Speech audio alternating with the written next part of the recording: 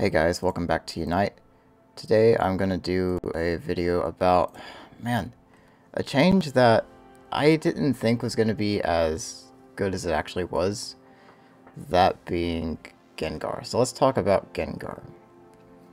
This patch, they increased the damage. Uh, so the base special attack has been increased by 30. And the boosted auto also does more damage. And I was looking at that in the patch notes. I'm like, this could be just enough to kind of bring Gengar back into a playable state. And then I actually tried it, and man, Gengar's back.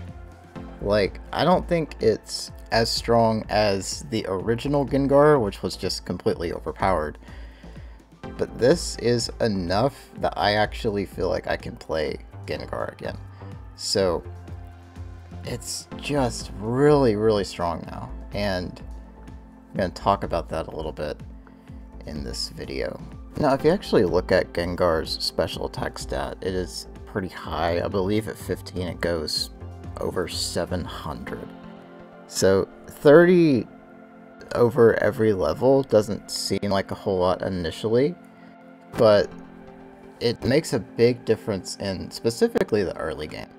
So Gastly has always been pretty slow when it comes to the jungle clear, which uh, you, you want your speedster to be in the jungle typically.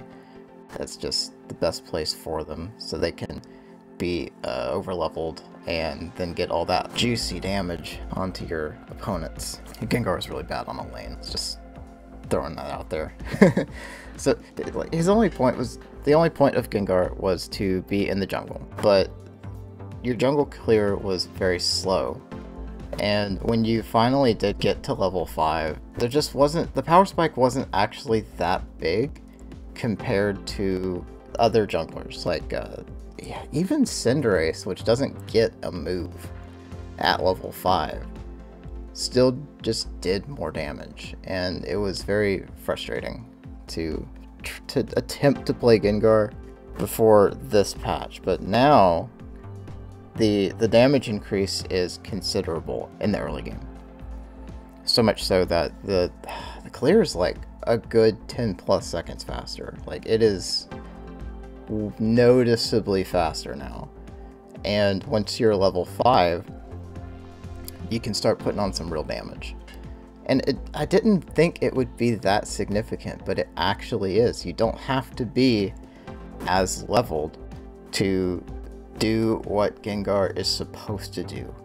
And that is you just assassinate things, you blow stuff up very quickly. And I this is such a good change because you, you still have to play very safe and calculated. You can't just dive in on anything.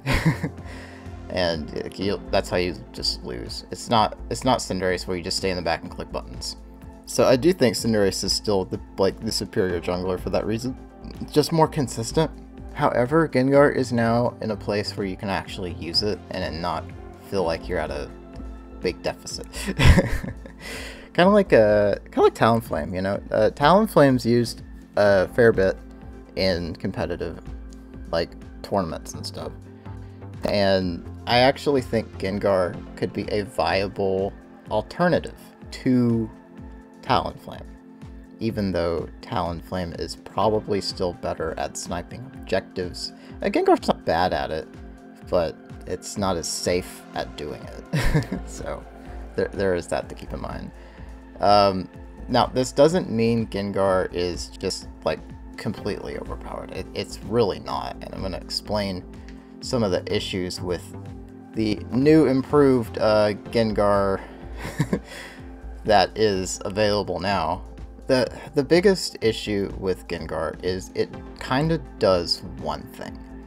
It's very specialized. So I run Shadow Ball Dream Eater. I haven't tried the other build yet, and I, uh, based on how the Dream Eater build feels, I really don't have any need to try the other build.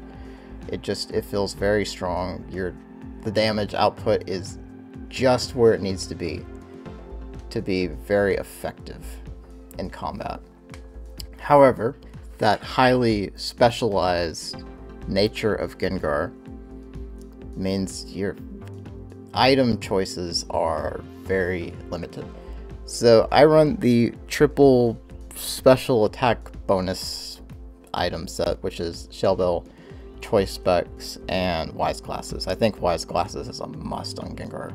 And Shellbell's really strong when you're trying to kite around, wait out your opportunities, and just throw out Shadow Balls, waiting for that opportunity to get your uh, get your knockout. Since you can't just dive in, Talonflame can actually get out when you dive in. Gengar cannot.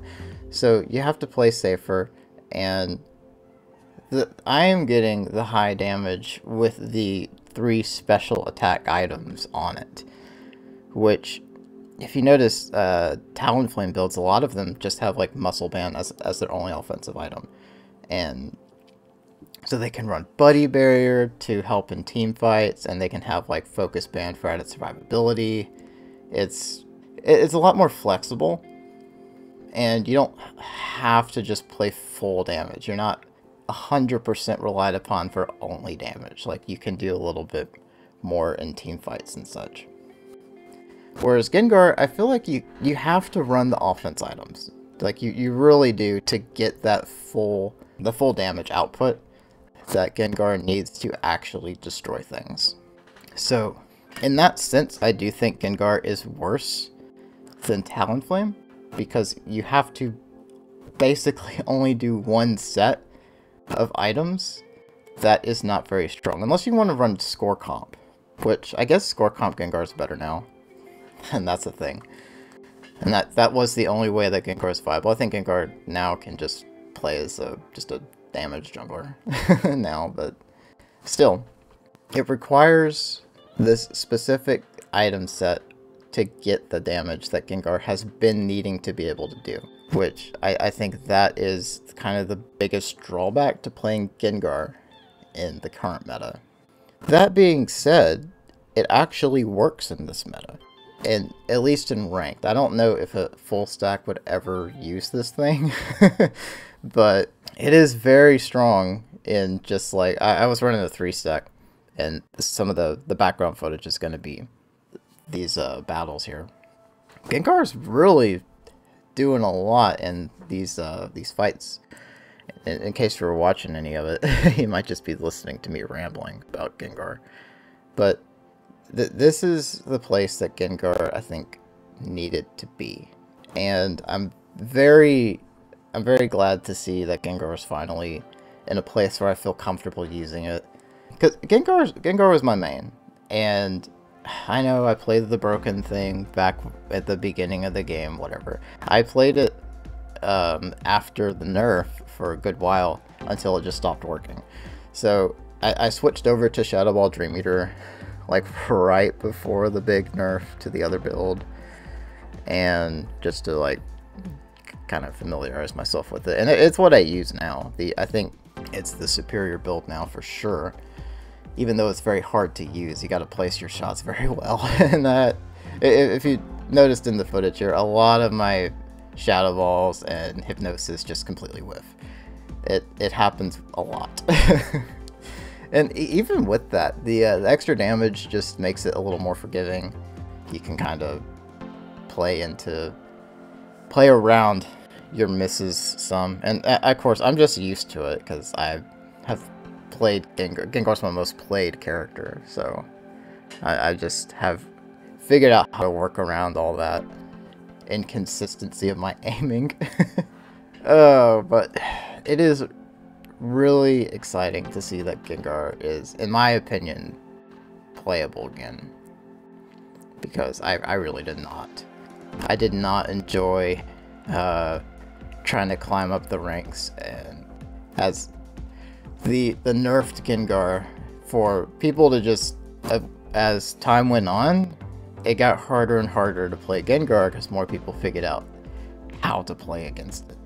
And now I can actually play it again. It's just it's so nice. And we finally have another option as a jungler. I can I can switch over from Greninja because Greninja is my main jungler. Just I can finally go back to Gengar. It's so fantastic. So yeah, I, I think Gengar's in a good place. I don't think they should nerf it because of how specialized it is. It it just requires very specific things to do the to do the scary stuff. It requires a very specific set. And I, I like that. I'm, I'm actually okay with that because I really didn't have any issues running just full offense on this thing. Getting those knockouts being helpful in team fights even without a buddy barrier. and with the Unite move that's just not great at team fights, it's it's really something. Okay, one more thing I want to like specifically showcase here is at minute like at like three minutes here, uh, you're gonna see uh, me versus this Absol on the uh, other team, and I believe the Absol's their jungler. And just watch this interaction here in the center as we just encounter each other. We'll see. I'm I'm level 13 and he's level 13 as well. He uses this Unite move and still manages to not take me out. Of course, one of his moves did whiff. Uh, I saw it hit the uh, wall there. Gengar used to not be able to do that. I'm just going to tell you right now, Gengar would have exploded in that scenario. He just would not have been able to do uh, the damage, especially if you're trying to run a score comp build. It, there's no way. no way. But th this is what I'm talking about. Like, Gengar just can play the game again. You don't have to rely on just playing sneaky, score comp. You can actually play offense, kind of like a jungle should. yeah, like Cinderace does does that very well, and uh, I think Gengar can now actually sort of do it, it itself. That is just really, really awesome to see this change. I I think this might be. I don't know if this is the best buff in the patch, but it really does feel like the best buff in the patch to me. But that could just be because I'm very comfortable playing Gengar. Anyway, I think I'm going to call that on this video. I should do a video of Duraludon, which by the way is really cool. Gengar, uh, Duraludon just feels like a really weird slow Cinderace. I'm just going to say that right now. Just does a lot of damage. Very fun indeed. Might might be a little too much damage, but we'll we'll see how uh, how it ends up if they end up nerfing it or not. I have no idea. But that's going to be for a future video. Maybe I'll do a live commentary battle with it at some point. But anyway, thank you so much for watching, and I'll see you next time.